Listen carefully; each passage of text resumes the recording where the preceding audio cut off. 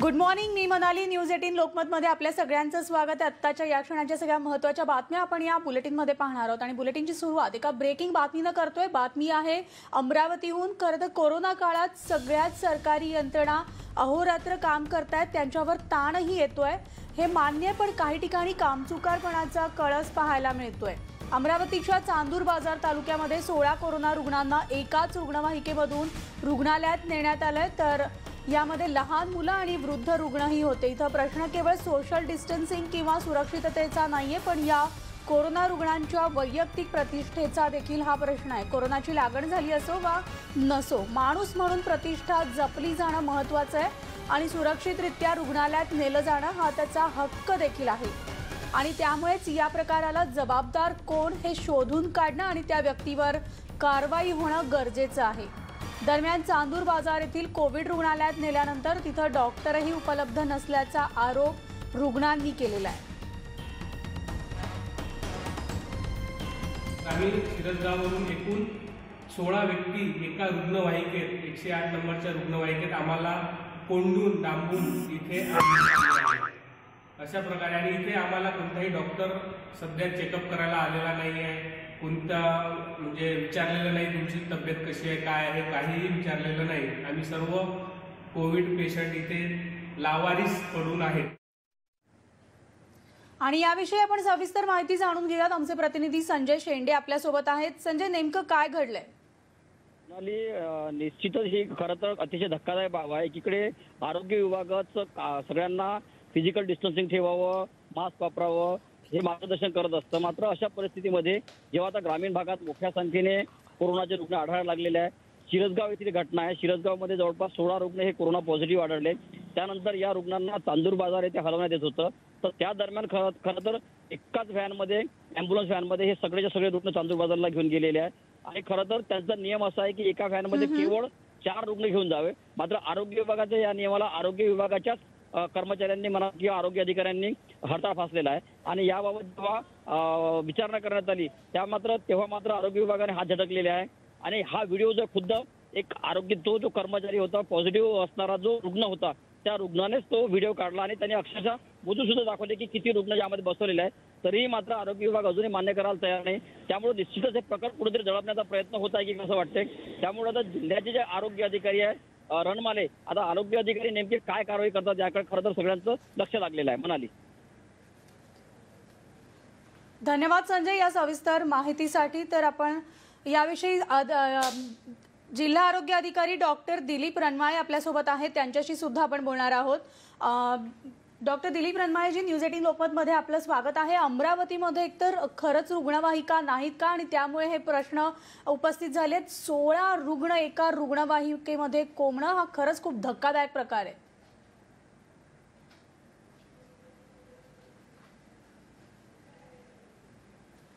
अमरावती जिल्ह्यामध्ये रुग्णवाहिका नाही हा प्रश्नच नाही. रुग्णवाहिका आहेत. आपण काही रेंटने पण घेतलेले आहे. आणि ही जी घटना आहे आपल्या मेडिकल ऑफिसर वगैरे सर्वांना आपण सूचना दिलेल्या आहे की ॲम्ब्युलन्समध्ये आपण चारपेक्षा जास्त रुग्ण घेत नाही. आणि ज्या ठिकाणी ही घटना घडली त्यावेळेसही सुरुवातीला त्यांनी चारच रुग्ण घेतले होते ॲम्ब्युलन्समध्ये पण तिथील जे काही बाकीचे पॉझिटिव्ह होते दुसरं रुग्णवाहिका येऊपर्यंत थांबायला कोणी तयार नव्हतं. आणि तिथल्या काही लोकांनी जबरदस्ती करून ते रुग्ण आतमध्ये को- कोंबून टाकायला सांगितलं त्यामुळे हा प्रकार घडला आहे तर या घटनेची आम्ही सविस्तर डॉक्टर चौकशी जर करत तिकडे एकच रुग्णवाहिका असेल अ, ज- जर तिकडे एकच रुग्णवाहिका असेल तर अ, अशा वेळेला रुग्णांनी सुद्धा काय करायचं आणि एका रुग्णवाहिकेमध्ये चार रुग्ण ही संख्या आपण सध्याच्या काळात जास्त नाही वाटत का? त्याचा प्रश्न नाही आहे ना. दुसऱ्या रुग्णवाहिकेसाठी वेट करावं लागेल ना? आपण लगेच तिथल्या तिथं सेंटरला सोडत असतो. एक रुग्णवाहिकेचा प्रश्नच नाही ना. मुळात मुळात मुळात अमरावती अमरावतीमध्ये रुग्णवाहिका एकूण किती आहेत? आपलं एकशे आठच्या एकोणतीस रुग्णवाहिका आहे. प्रत्येक पीएचसी ला एक एक रुग्णवाहिका आहे. आणि आम्ही रेंटने पिकअप आणि ड्रॉपबॅकसाठी पण रेंटने घेतलेल्या आहे गाड्या आहेत. त्या सात गाड्या घेतलेल्या आहे आम्ही. रुग्णवाहिकेचा शॉर्टेज नाही आहे मग जर रुग्णवाहिकेचं शॉर्टेज नाही तुम्ही म्हणताय की सोळा रुग्ण जबरदस्तीने या रुग्णवाहिकेमध्ये शिरलेले आहेत जसं तुम तुमचं म्हणणं आहे. मात्र असं कोणी जबरदस्ती घुसणार नाही प्रत्येकाला एकतर आपल्या आरोग्याची पर्वा आहे. आणि दुसरी गोष्ट जर तुमची यंत्रणा तिकडे आहे रुग्णवाहिकेबरोबर तुमचा स्टाफ देखील तिकडे कर्मचारी सुद्धा उपस्थित असणार तर असे रुग्ण कसं काय घुसू शकतात? कोरोनाचं संकट चालू आहे. सगळ्यांना गाईडलाईन माहीत आहे फिजिकल डिस्टन्स सोशल डिस्टन्स या सगळ्या गाईडलाईन माहीत असताना असा प्रकार घडणारच नाही आहे पण आज आता कसं होत आहे आजकाल एवढे जबरदस्ती होते रुग्णांकडून पण तर आम्हाला वेगवेगळे अनुभव येतात. तर त्यावरून आम्ही सांगतो ना मार्च पासून चालू आहे सगळ्या मेडिकल ऑफिसरना आरोग्य कर्मचाऱ्यांना सगळ्या गाईडलाईन माहीत असताना अशी घटना असं चूक होणारच नाहीये ना. पण ज्यावेळेस मॉब मग येतो तुमचं म्हणणं आहे या रुग्णांची चूक आहे रुग्णांची एक नाही, रुग्णवाहिका तिथे- जर तिथे जातीये नाही, नाही, आरोग्य तिथे कर्मचारी जर कोणीतरी- त्यांच्यावर नियंत्रण आणू शकत नाही नाही तिथे एक कोणीतरी इसम बोला होता. रणमाळेजी. मी तालुका आरोग्य अधिकाऱ्यांशी बोललो तर तिथे जो एक होता कोणीतरी त्यांनी ती जबरदस्ती केलेली आहे असा प्रकार घडत नाही कारण आम्ही आता चौदा तालुके आहे माझ्या जिल्ह्यामध्ये आणि अशी घटना जर- असं जर आमच्या सूचना असतात तर अशी घटना भरपूरदा घडली असती ना. तसा प्रकार नाहीये. डॉक्टर दिलीप रणमाळेजी धन्यवाद तुम्ही न्यूज एटीन लोकमतची बोलल्याबद्दल मात्र मात्र जिल्हा आरोग्य अधिकारी डॉक्टर दिलीप रणमाळे यांनी थेट आरोप रुग्णांवरच केलेला आहे. स्वतःचे आरोप आणि स्वतःच्या ज्या कमतरता आहेत त्या मात्र मान्य करण्यास तयार नाहीयेत. एका रुग्णवाहिकेमध्ये सोळा रुग्ण एकतर कोंबणं हे अत्यंत धक्कादायक आहे. आणि दुसरी गोष्ट अहवाल आधीच असताना रुग्णवाहिका एकच का पाठवली? कारण जर पॉझिटिव्ह रुग्णांची संख्या जर पालिकेकडे किंवा ठराविक ठिकाणी ठ- आरोग्य विभागाकडे आधीच पोहोचलेली असताना एकच रुग्णवाहिका सोळा रुग्णांना घ्यायला कशी काय जाऊ शकते? या प्रश्नाचं उत्तर अद्यापही डॉक्टर रणमाळे यांना सुद्धा देता आलेलं नाही. त्यांनी थेट आरोप हा रुग्णांवर केलेला आहे.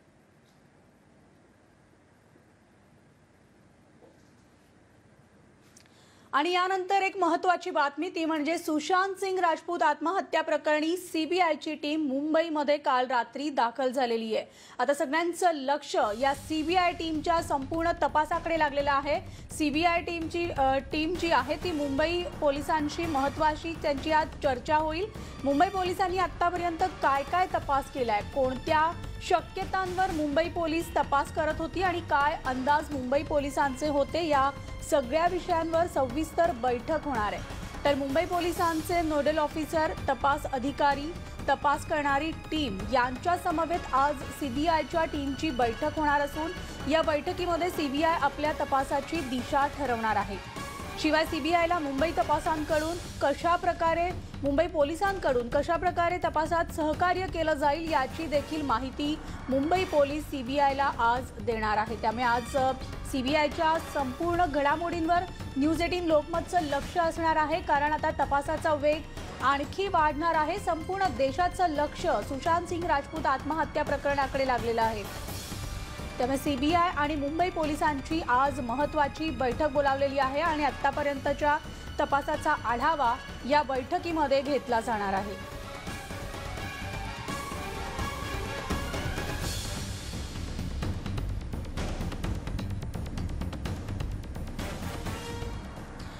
आणि आत्ता जी बातमी मिळतीये ब्रेकिंग बातमी ती म्हणजे सीबीआय टीमच्या तपासाची सुरुवात झालेली आहे.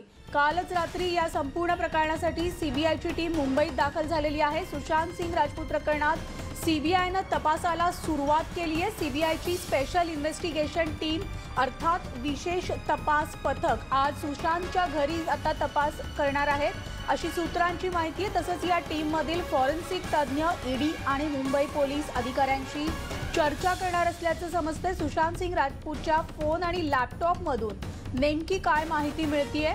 याची माहिती आणि कागदपत्र सुद्धा सीबीआय आज ताब्यात घेणार आहे. तसंच आत्तापर्यंत नोंदवलेल्या जबाबांचाही अभ्यास सीबीआय करेल. सूत्रांच्या माहितीनुसार सीबीआय सर्व शक- शक्यता लक्षात घेऊन तपास करणार आहे आणि ज्यांचा जबाब आधी नोंदवला गेलाय त्यापैकी काहींना पुन्हा चौकशीसाठी बोलावलं जाऊ शकतं. तर सीबीआयची ही टीम पुढचे किमान दहा दिवस मुंबईत असल्याचं सांगण्यात येतंय.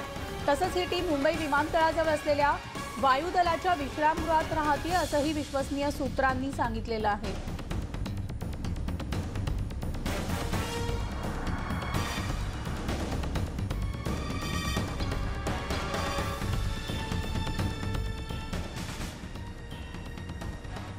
आणि यानंतर बातमी आहे बार्शीमधली. बार्शी शहरामध्ये सध्या जर पाहिलं तर गांजाची खुलेआम विक्री करत असल्याचा धक्कादायक प्रकार उघडकीस आलेला आहे. बार्शी शहरात सर्रासपणे गांजा विक्री सुरू असल्याचा आरोप बार्शी शहरातील सामाजिक कार्यकर्ते ॲडव्होकेट सुहास कांबळे यांनी केलाय. अनेकदा तक्रार करूनही दखल घेतली जात नाही आणि त्यामुळे संतापलेल्या कार्यकर्त्यांनी थेट विशेष पोलीस महानिरीक्षकांना गांजाची पुडीच पाठवलेली आहे. कारण बार्शी शहर पोलीस स्टेशनपासून हाकेच्या अंतरावर गांजाची विक्री सुरू असल्याचं पाहायला मिळते गल्लीबोळात पन्नास ग्रॅम गांजाच्या पुड्यांद्वारे ही विक्री सुरू आहे. त्यामुळे तरुण पिढी व्यसनाच्या आहारी जात असल्यामुळे हे पाऊल उचललं असल्याचं ॲडव्होकेट सुहास कांबळे यांनी सांगितलंय. सविस्तर माहिती जाणून घेऊयात. आमचे प्रतिनिधी सागर सुरवसे आपल्यासोबत आहेत. सागर. म्हणाले आपण पाहतोय की एकीकडे काही दिवसांपूर्वीच पंजाब असेल किंवा त्या भागामध्ये उडता पंजाब अशा पद्धतीचं एकंदरीत चित्र आपल्याला पाहायला मिळत त्यामुळे ह्या नशेच्या आहारी गेलेली जी नवीन पिढी आहे भावी पिढी ती पूर्णतः लयाला गेलेली आपल्याला पाहायला मिळते. आणि अगदी तसाच प्रकार जो आहे तो या बार्शी तालुक्यामध्ये आपल्याला पाहायला मिळतोय. अक्षरशः खुलेआमपणे रस्त्यावरती पन्नास ग्रॅमच्या पुढे असतील शंभर ग्रॅमच्या पुढे असतील त्या विकल्या जातात आणि त्या बदल्यात पैसे घेतले जातात. खरं तर अतिशय धक्कादायक असा हा प्रकार आहे. केवळ एवढ्यावरच हे थांबत नाहीये. तर याचबरोबर मटका असेल किंवा इतर व्यवसाय जे आहेत अवैध धंदे ते देखील खुलेआमपणे सुरू आहेत. पोलीस प्रशासनाला स्थानिक पोलीस प्रशासनाला वारंवार तक्रारी केल्या गेल्या. त्याचबरोबर वरिष्ठ अधिकारी असतील पोलीस अधीक्षक असतील यांना देखील तक्रारी केल्या गेल्या. मात्र कुठलीही याची दखल घेतली जात नाही. त्यामुळे एकंदरीतच पोलीस यंत्रणेवर देखील हा प्रश्नचिन्ह उपस्थित होतोय. आणि त्याचबरोबर एकंदरीत हा जो काही सगळा प्रकार आहे अक्षरशः नवी पिढी जी आहे पुढची पिढी पूर्णतः लयाला घालवण्याचाच एकंदरीत हा सगळा प्रकार जो आहे तो या ठिकाणी पाहायला मिळतोय. त्यामुळे ऍडव्होकेट सुहास कांबळे यांनी या. ठिकाणी विशेष पोलीस महानिरीक्षक सुहास वारके जे आहेत त्यांना थेट गांजाची पुडी आणि त्याचबरोबर त्यांचा तक्रारी अर्ज तो रजिस्टर पोस्टाने त्यांना पाठवलेला आहे. मात्र अद्याप देखील या संबंधित कुठलीही कारवाई या गांजा विक्री करणाऱ्यांवर कारवाई थोडक्यात झाली आहे का? अद्याप तरी कुठलीही कारवाई झाली नाही आहे वास्तविक पाहता गेल्या दहा दिवसापूर्वीच ही तक्रार जी आहे साधारणपणे अकरा ऑगस्टला ही तक्रार जी आहे ती रजिस्टर पोस्टाने त्यांच्यापर्यंत पोहोचलेली आहे महानिरीक्षकांपर्यंत. सागर या संपूर्ण घडामोडींवर आपण लक्ष ठेवून राहणार आहोत. पोलिसांकडनं काय भूमिका घेतली जाते? कारवाई का होत नाही? याचा पाठपुरावा देखील आपण करणार आहोत. तुर्तास सविस्तर माहितीसाठी धन्यवाद. आणि यानंतर बातमी आहे पुण्याहून जुन्नर येथील. जुन्नर येथे अजूनही भर पावसामध्ये पाण्यासाठी आंदोलन सुरू आहे. नागरिकांनी सलग पा पडणाऱ्या पावसामध्ये भर दिवसामध्ये आंदोलन सुरू केलेलं आहे. कारण पाण्याचा प्रश्न जो आहे तो अजून सुटलेला नाहीये. जलवाहिनीचं काम तिथे सुरू असल्यामुळे पाणी तिथल्या नागरिकांना पाणी पुरवठा होत नाहीये. पुणे शहरातल्या पूर्व भागाला पाणी पुरवठा करण्यासाठी भामा आस्केट जलवाहिनीचं काम सुरू आहे. मात्र गेल्या अनेक काळापासूनच्या विविध मागण्यांसाठी गेल्या तीन दिवसांपासून भर पावसात आंदोलन करण्यात येत आहे या प्रकरणी न्यायालयानं निकाल देऊन प्रकल्पग्रस्तांना जमीन द्या असा आदेश दिलेला असताना देखील प्रशासन कोणत्या अधिकारानं जमिनीऐवजी पैसे घ्या असं सांगतंय असा सवाल उपस्थित करण्यात आलाय. दरम्यान या प्रकरणामध्ये न्यायालयाचा अवमान असल्याचा आरोप उपोषणकर्त्यांनी देखील केला आणि दरम्यान या प्रकरणी आंदोलकांनी अप्पर जिल्हाधिकाऱ्यांसोबत बैठक घेतली. यामध्ये देखील तोडगा निघालेला नाही. आणि त्यामुळे सलग तिसऱ्या दिवशी भर पावसात हे आंदोलन सुरू आहे. काय सांगाल तुम्ही? काय नेमक्या तुमच्या मागण्या आहेत आणि या पूर्ण झालेल्या नाही गेली पाच वर्षापासून फार मोठा संघर्ष करीत आम्ही शेतकरी तीनशे अठ्ठ्याऐंशी जण कोर्टात गेलो. माननीय उच्च न्यायालयाने आम्हाला आदेश दिला का जमीन जमीन द्या म्हणून. परंतु शासन आमची आमच्यावर अन्याय करून पोलीस प्रशासन दबाव आणून पोलीस प्रशासन दबाव आणून आमच्यावर अन्याय करत आहे. व आम्हाला कोणत्याही मार्गाने आंदोलन करण्याशिवाय पर्याय नाही.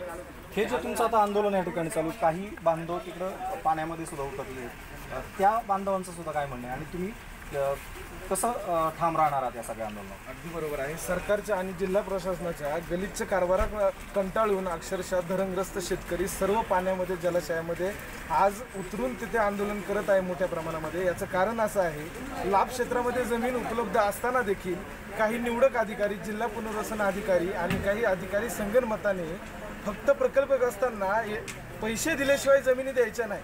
फक्त किंवा त्यांना कसा लाभ होईल फक्त ह्या हेतूमुळे लोकांना जमीन वाटण्यासाठी टाळाटाळ करत आहे. पण दुसऱ्या मार्गाने जर एजंटच्या मार्गाने जर गेलं तर तत्काळ त्या शेतकऱ्यांना जमीन वाटप केली जाते. तर आपण पाहतो थेट आरोप आहेत आणि हे आंदोलक सगळे थांबून आहेत या ठिकाणी. तेवीस गावातले सगळे आंदोलक या ठिकाणी थांबून आहेत आणि काही आंदोलक तिकडं पाण्यामध्ये सुद्धा उतरले ते आंदोलन आता कधी थांबणार आहे? प्रशासन यामध्ये मार्ग काढणार आहे का? आणि नवीन जिल्हाधिकारी जे आता आजच रुजू आले आहेत हे कशा पद्धतीने आंदोलनाकडे पाहत आहेत? या प्रश्नाकडे पाहतात हे पुढच्या काळात पाहावं लागणार आहे. शिंदे सरायचंद शिंदे न्यूज लोकमत धामासकर आणि यानंतर बातमी आहे नगरमधली नगरमध्ये बो चार जणांची निर्गुण हत्या करण्यात आलेली आहे. जुन्या वादातून ही हत्या झाल्याचं समोर येत आहे नगरमधला हा धक्कादायक प्रकार उघडकीस आलाय. नगरमध्ये चाकूनं भोसकून चार जणांची निर्गुण हत्या करण्यात आली आहे. दोन गटात झालेल्या जुन्या वादातून ही हत्या करण्यात आली असून श्रीनगर नगरच्या श्रीगोंदा तालुक्यात ही धक्कादायक घटना घडली आहे. त्या घटनेमुळे तालुक्यात भीतीचं वातावरण निर्माण झालंय. त्या दरम्यान काल दुपारी तीन वाजता ही हत्येची घटना घडल्याचं कळतंय.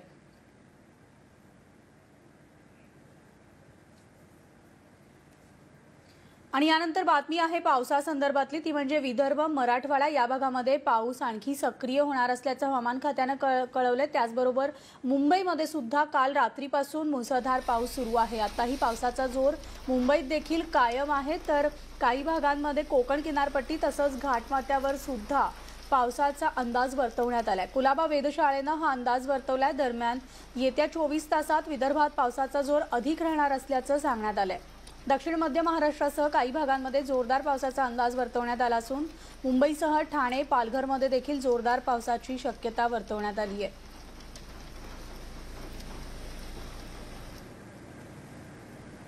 आणि याविषयी आपण सविस्तर बोलणार आहोत. आमचे प्रतिनिधी सागर कुलकर्णी आपल्यासोबत आहेत. थेट सागरकडे जाऊयात. सागर मुंबईचा आपण सगळीकडचाच जर आढावा घेतला तर विदर्भ मराठवाडा या भागात सुद्धा मान्सून अधिक सक्रिय होण्याची शक्यता वर्तवली जाते आणि गेल्या चोवीस तासात या येत्या चोवीस तासात विदर्भात देखील पावसाचा जोर अधिक राहणार आहे. मुंबईत सुद्धा काल रात्रीपासून मुसळधार पाऊस आहे. काय सध्या परिस्थिती आहे?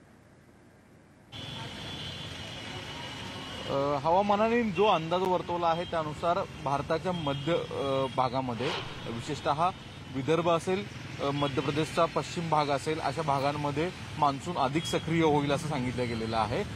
विदर्भामध्ये पावसाचा जोर पुढच्या चोवीस तासामध्ये राहील असं सांगण्यात आलेलं आहे. त्याचवेळी मराठवाडा असेल दक्षिण मध्य महाराष्ट्र असेल मुंबई ठाणे पालघर आणि कोकण किनारपट्टी घाटमाता या भागांमध्ये सुद्धा काही भागांमध्ये मुसळधार पावसाचा अंदाज वर्तवलेला आहे. मुंबईत पहाटे मुसळधार पाऊस सुरू झाला होता. अधूनमधून काही भागांमध्ये पावसाचा जोर कायम राहतोय तर काही ठिकाणी पाऊस दिलासा देखील देतोय. थोडासा विश्रांती घेताना दिसतोय. पण श्री गणरायाच्या वि- आगमन होतंय. त्या पुढच्या चोवीस तासामध्ये गणपतीचं आगमन होताना पाऊसाचा जोर कायम राहील असं कुलाबा वेशाळ्याच्या वतीने सांगण्यात आलेलं आहे म्हणाली धन्यवाद सागर या सविस्तर माहितीसाठी. आणि या घडामोडीनंतर बुलेटिनमध्ये आत्ता आज वेळ झाली इथेच थांबण्याची ताज्या बातम्यांसाठी तुम्ही पाहत राहा. News eighteen Lokmat.